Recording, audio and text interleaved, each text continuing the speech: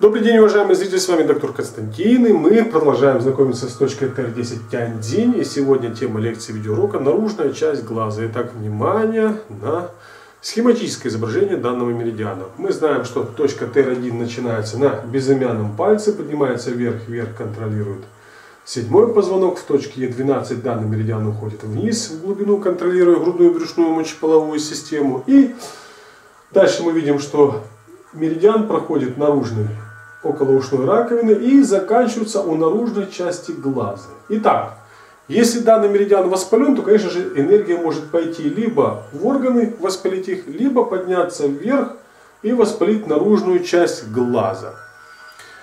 То, что необходимо, через точку ТР-10 можно данный меридиан расслабить. Также можно через точку ТР-10 меридианы протонизировать, скажем. В своей практике я так делаю часто. И не вижу разницы, как некоторые авторы пишут, что на только, только на точку, которая седатирует меридиан, нужно воздействовать методом седатации. Это неверно. Точки универсальны.